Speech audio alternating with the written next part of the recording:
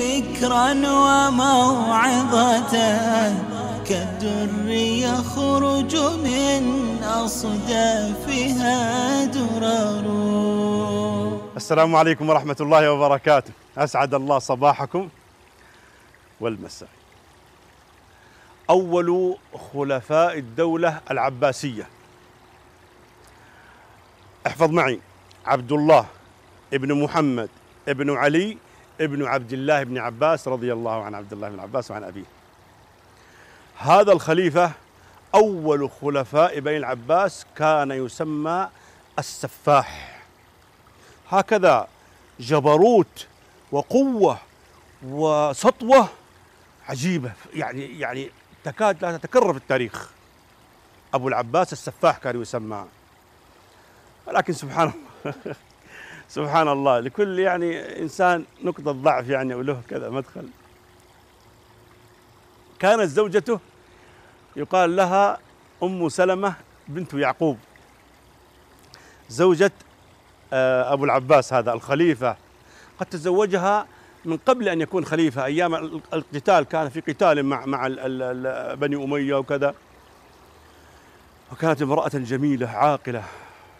رزينة راجحة العقل فسلبت لبه وأطارت بصوابه وأحبها حبا حتى لا يكاد يرى ويسمع إلا ما ترى وما تسمع. حتى أنه عاهدها من قبل أن يكون خليفة عاهدها وحلف لها بالأيمان المغلظة ألا يتزوج عليها ولا يتسرى يعني ما يأخذ من الجواري أبدا. وكانت هي امرأة تحبه حبا عظيما وتتحرى مواطن رضاه وتسعى وتتفانى في ذلك. وكانت عاقل فاستطاعت أن يعني تملك قلب الرجل. فمع الأيام مع الأيام أصبح العباس أبو العباس هذا الخليفة. ودانت له الدنيا. أصبح خليفة المسلمين الملك من المغرب إلى المشرق. هو العباس أبو العباس يسمى السفاح. وفي يوم من الأيام جاء رجل يقال له خالد بن صفوان وكان نديما لأبو العباس صديقا له يعني كان أحد الوزراء والمقربين له وكان يحبه. ودائما يعرف كيف يلاطف الخليفة وكيف كذا. وكان صديق قديم له. وفي يوم من الأيام كان جالس أنت يا خالد بن صفوان مع آه، أبو العباس الخليفة في جلسة سمر. وكانوا يعني آخر اثنين ما معهم أحد. يعني المجلس خلا بهم. فقال خالد بن صفوان يا أمير المؤمنين قد دانت لك الدنيا وقد استوى الأمر لك وقد أصبحت خليفة المسلمين وأنت الرجل الأول في هذه الدولة وقد خضعت لك الرقاب وأنت لا تزال على زوجة واحدة. إن مري- إن مرضت مرضت وإن نفست نفست وإن يا أمير المؤمنين لم تحرم نفسك لذة النساء؟ ما رأيت الدقيقة السمراء والنحيلة البيضاء والمهفهفات الخصور و- وأخذ يمدح وأخذ يزين له وما رأيت حسن الجواري وعذوبة أصواتهن وكيف وأخذ يزين له ويزين له ويزين له فغرفاه أنت يا أبو العباس. وقال يا يا خالد ويحك. والله ما صك مسامعي مذ عرفت مذ عرفت الكلام. مثل ما قلت يا خالد ما أعذب وأجمل ما قلت. فأعد علي أعد علي. يقول خالد فسررت من ذلك ايما سرور يعني أنبسط انه إيش يعني عرف يعني يجي يعني كذا ويتفاهم مع الخليفة وان يصير له رأي مسموع وكذا. يقول فأعدت عليه الكلام وبالغت في الوصف وأكثرت وزدت في, في الإطناب. إلى أن يعني انتهت السمره ويعني يقول إيش خرجت من عنده. واستودعته الله ومشيت. يقول خالد يقول خالد بن صفوان يقول مشيت من عند الخليفة وأنا والله لا أشك في أعطيته وجائزته. الرجال انبسط من كلامي أكيد بي- بي- بيرسل لي دحين هدية. يقول خرجت من عنده وأنا أتوقع دحين بيجيني أحد يهديني هدية أكيد. الخليفة كذا ما يبطي. على طول الجائزة تجيك على طول. يقول وفي الجانب الآخر هناك خرج خالد وجلس الخليفة واجما يفكر فدخلت عليه أم سلمة زوجته. فلما رأته متغير الوجه سارح شارد الذهن قالت يا أمير المؤمنين ما لك؟ أو قد حصل ما تكرهه. أو قد خرج عليك أحد الرعايا. أو قد حصل كذا. أو قد حصل كذا. وهو ينزوي عنها. ينزوي عنها ويحاول يدس بيخبي لكن ما عاد. أبو طبيع ما يكون طبع جات منه وجات منه وجات إلى أن قالت بين الصدق الله هذا خالد بن صفوان الله يكافيه يا شيخ.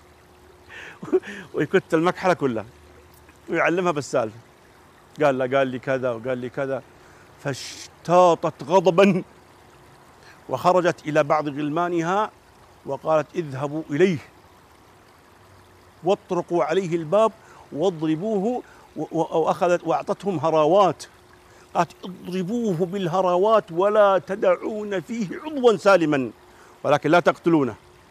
وأخبروه أنني أنا من أرسلتكم إليه. طبعا في الجانب الآخر هناك خالد بن صفوان جالس. ما أدري هو بتردد يعني يوتر ولا ينتظر الجي- هدينا تجي. فبينما هو جالس كذا يعني يبي- أنتظر أخاف إن أدخل في الصلاة يطرق الباب. واذا بالباب يطرق. فقمت فرحا يقول فقمت فرحا وفتحت الباب. وإذا بالهراوات من كل مكان تضرب يقول يا الله لا أعلم من الضرب ضربوني ضرب كدت أموت. وقالوا هذه هدية من أم سلمة. وانصرفوا. يقول فجلست أيام مريض لا أقوى على مغادرة الأرض. وبعد أيام أرسل إلي أبو العباس جادا في طلبي فجاء الرسل وقالوا تعال إلى أمير المؤمنين يريدك. يقول فرأيت الموت. لا إله. أنا إيش اللي ورطني مع الرجال هذا؟ يقول. يقول فجئت إليه وإذا به قد جلس في نفس المجلس الخاص. وفي جلسة خاصة لهم يعني. وإذا به قد جلس على على على كرسي يعني على مكان كذا. وقال تعال استريح اجلس. يقول فلما جلست وإذا خلفي باب عليه ستار. يقول فأحسست بحركة خلف الستار فعلمت أن النساء وراء الستار. يقول فقلت اليوم الله يخرجني منك اليوم بس.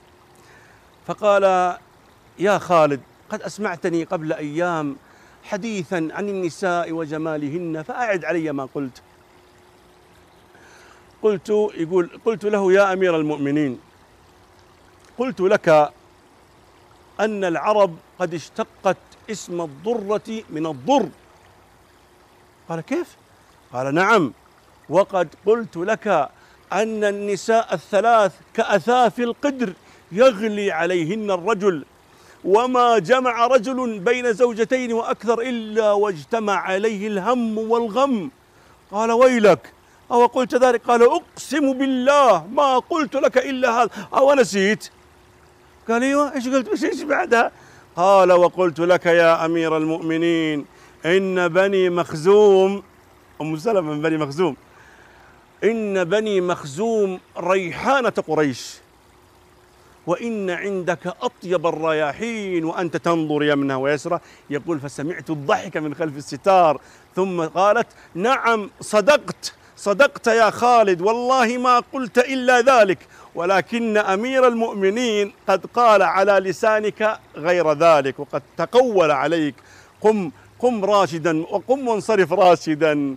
يقول خرجت من عنده طالعت فيه. قلت هذا وجه إن عاد أعطيك علم أنت ما حد ما حد يسولف معك. يقول فرجعت إلى بيتي وما كاد أن يستقر بي المجلس إلا ورسول رسول أم سلمة مجموعة من الغلمان ومعهم الهدايا وأعطتني عشرة آلاف درهم وملابس وأكسية وكذا. فيقول قلت الحمد لله الآن عرفت الدرب خلاص عرف المفتاح وعرف الطريق المستقيم.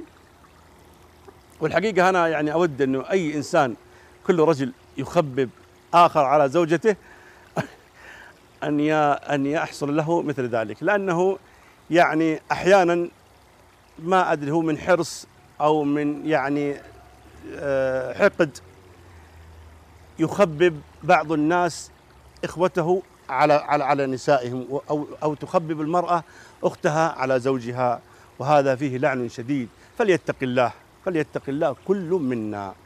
لا تخبب أحدا على على على اهلها إن رأيته في في حاله ومبسوط ومرتاح إيش لك وش للناس؟ أسأل الله أن يحفظنا وإياكم من كل شر ومكروه. والسلام عليكم